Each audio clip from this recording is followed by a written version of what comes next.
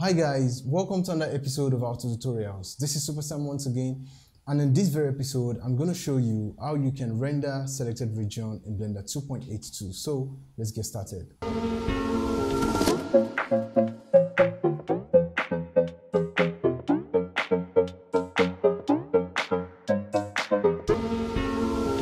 Rendering selected region can be a huge time saver when it's added to your workflow. For example, in our case here, we rendered about 600 frames of this shot and later realized there was a problem.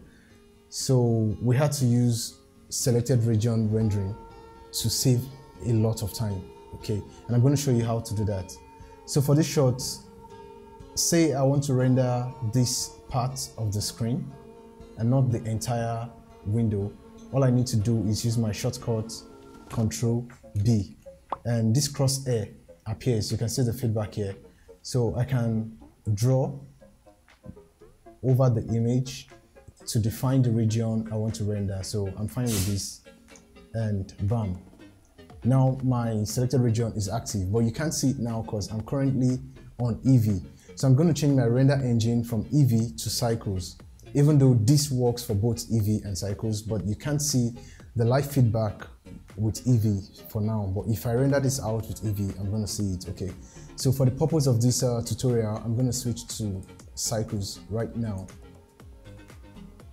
And you can see this is the region I selected. So this is where I want to render, okay. That's one way to do it. Now, if you want to clear this rendered region, you can use the shortcut Ctrl Alt and B to clear. As you can see, I have the region back to um, the normal um, resolution that I initially had. So, so if I have Ctrl B, you can see my render region. This shows it is active.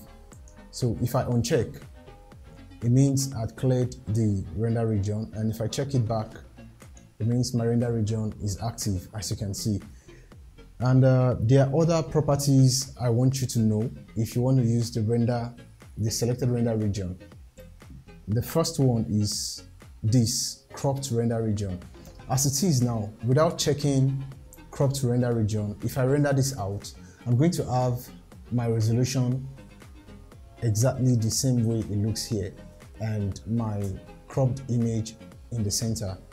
But if I check on crop to render region, every other part outside my render region would be cropped away. And uh, to show you the feedback of how this looks like, I already rendered several images using the settings. Now this first one is my render without anything, without defining my render region. So this is the whole frame.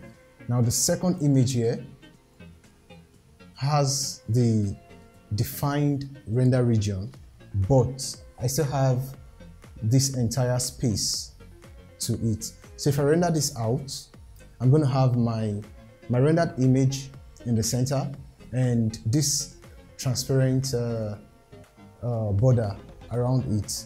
Okay, and make sure if you need something like this, make sure you have your PNG file format activated. If not, you won't have transparency.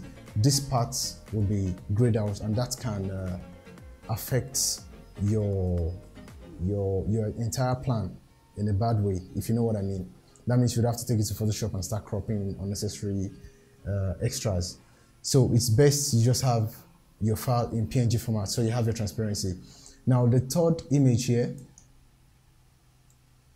was rendered using the, the crop region activated.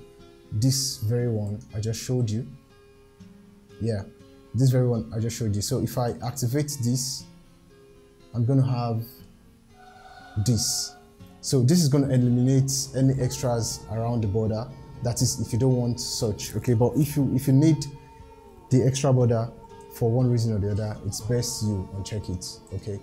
So this is how to use your selected render region in Blender 2.82. I hope you've learned one or two things from this video.